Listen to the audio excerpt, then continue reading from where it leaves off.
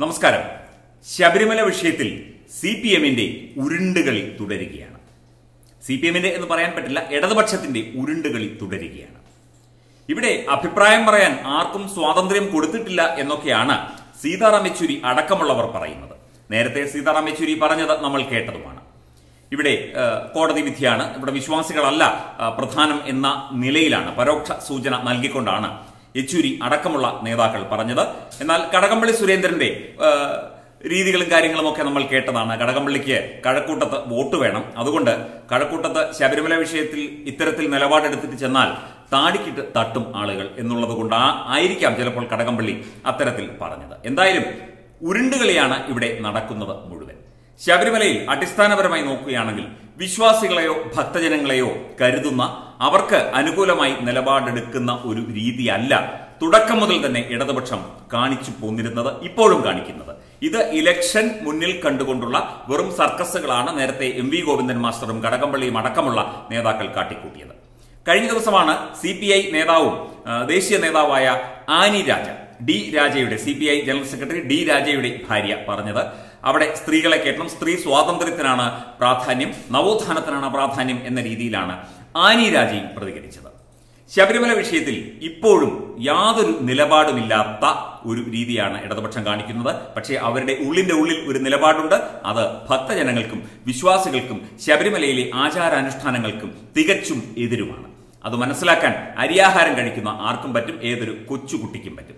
കഴിഞ്ഞ ദിവസം വന്ന ചില പ്രസ്താവനകളും അതിലെ വൈരുദ്ധ്യാത്മകതയും വിരോധാഭാസങ്ങളും ഒക്കെ ഒന്ന് പരിശോധിച്ചു കഴിഞ്ഞാൽ ശബരിമലയിൽ സി പി എമ്മിന്റെ ഉരുണ്ടുകളി തുടരുകയാണെന്നാണ് മനസ്സിലാകുന്നത്.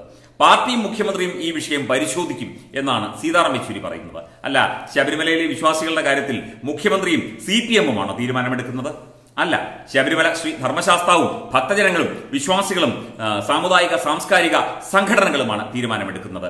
ഇത് കോടതിയിലേക്ക് എത്തിയത് കൊണ്ടായിരിക്കാം ചിലപ്പോൾ അദ്ദേഹം അങ്ങനെ പറഞ്ഞത്. ശബരിമല വിഷയത്തിൽ തെറ്റുപറ്റിയെന്ന മന്ത്രി കടകംപള്ളി സുരേന്ദ്രന്റെ ഖേദപ്രകടനം മുഖ്യമന്ത്രിയും സംസ്ഥാന കമ്മിറ്റിയും പരിശോധിക്കും. ഇവർക്ക് എപ്പോഴും ഒരു പരിശോധനയും ഒരു പഠനവും.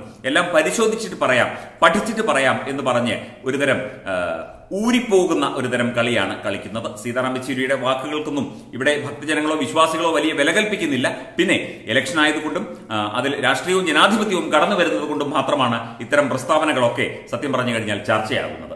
ഞാൻ എന്തു പറയാനാണ്? സുപ്രീം കോടതിയിലെ സത്യവാങ്മൂലം തിരുത്തുമോ എന്ന ചോദ്യത്തിനും പ്രസക്തിയില്ല. കഴിഞ്ഞത് കഴിഞ്ഞു. ഇനി അന്തിമ വിധിക്ക് കാത്തിരിക്കണം. കോടതിയുടെ പരിഗണനയിലുള്ള വിഷയത്തിൽ ചർച്ച വേണ്ട എന്നായിരുന്നു യെച്ചൂരി വീണ്ടും പറഞ്ഞത്. അല്ല കഴിഞ്ഞത് കഴിഞ്ഞു എന്ന് പറഞ്ഞാൽ ഇവിടെ ഭക്തജനങ്ങളുടെ മനസ്സിലേറ്റ മുറിവ് അങ്ങനിങ്ങനൊന്നും കരിയില്ല എന്നുള്ള കാര്യം യെച്ചൂരി സഖാവിനോട് ഒന്ന് ഓർമ്മിപ്പിക്കുന്നു. ഇവിടെ ജനങ്ങൾ ചിന്തിച്ചിരിക്കുകയാണ് ജനങ്ങൾക്ക് കാര്യം മനസ്സിലായിരിക്കുന്നു. നിങ്ങളുടെ പക്കിട തരികിടയൊന്നും ഇവിടുത്തെ കേരളത്തിലെ ഭക്തജന സമൂഹത്തിന്റെ അടുത്ത് നടക്കില്ല എന്ന കാര്യമാണ് യെച്ചൂരി മാമനോട് ഇതിനുള്ള മറുപടിയായി പറയാനുള്ളത്. പിന്നെ മാപ്പ് പറയാൻ ആരെയും നിയമിച്ചിട്ടില്ല എന്ന തരത്തിലായിരുന്നു വൈദ്യുതി മന്ത്രി എം എം മണിയുടെ പ്രതികരണം.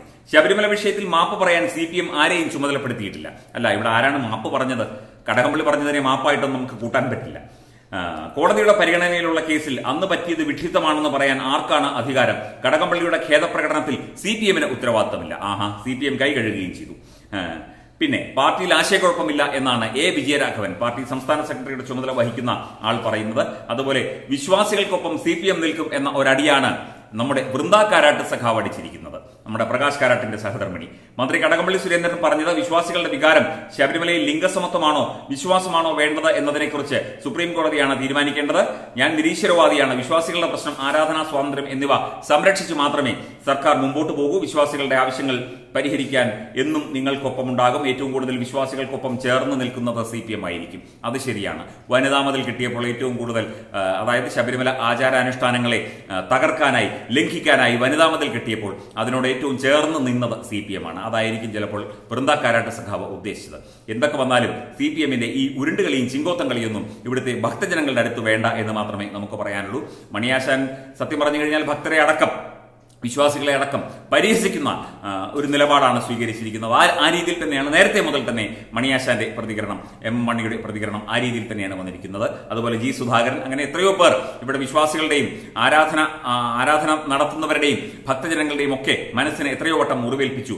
കഴിഞ്ഞത് കഴിഞ്ഞു എന്നൊന്നും പറഞ്ഞാൽ ഇവിടെ ആരും അത് കേട്ടിട്ട് മിണ്ടാതെ പുഞ്ചിരിച്ചുകൊണ്ട് തിരിച്ചു പോകും എന്നാണ് സി പി എമ്മിന്റെയും സി പി എം നേതാക്കളുടെയും പ്രതീക്ഷയെങ്കിൽ ആ പ്രതീക്ഷ അങ്ങ് വാങ്ങിവെച്ചേക്കൂ. അതൊന്നും ഇവിടെ നടക്കില്ല എന്ന് മാത്രമേ ഇപ്പോൾ ഓർമ്മിപ്പിക്കും Felipe Querago, Webdesk Tatuem News.